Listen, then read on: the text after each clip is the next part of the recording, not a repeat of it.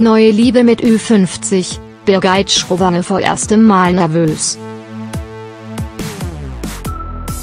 Auch eine erfolgreiche Frau wie Birgit Schrowange, 60, plagen hin und wieder Selbstzweifel.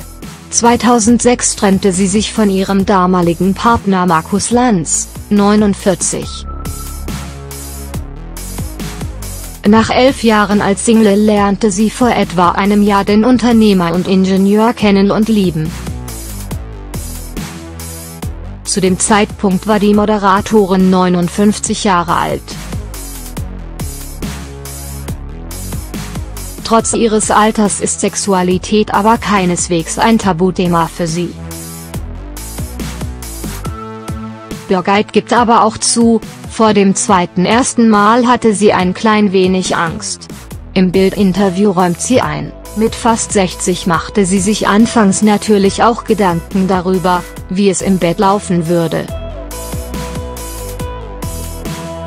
Gleichzeitig fordert das bekannte TV-Gesicht andere Frauen dazu auf, in der Hinsicht lockerer zu werden.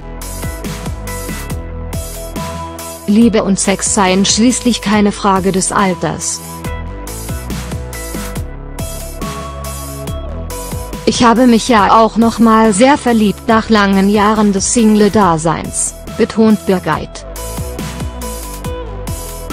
Die Mutter eines 18-jährigen Sohnes ist auch überzeugt davon, mit voranschreitendem Alter gewinnt eine Frau an Attraktivität. Wenn man älter wird, spielen Stärke und Selbstbewusstsein, das man ausstrahlt, eine größere Rolle. Nicht die Straffheit der Haut, macht sie in diesem Zusammenhang deutlich. Mit ihrem eigenen Printmagazin Birgit Lust auf mehr richtet sich die 60-Jährige an Frauen ab 50 und widmet sich ganz ausführlich dem Thema reife Liebe. Für Gefühle gibt es schließlich kein Rentenalter. Anliegen ist es, Gleichgesinnten Mut zu machen, Wissen Sie, meine Generation ist so erzogen worden, man nimmt sich zurück, man ist bescheiden, man lässt anderen den Vortritt.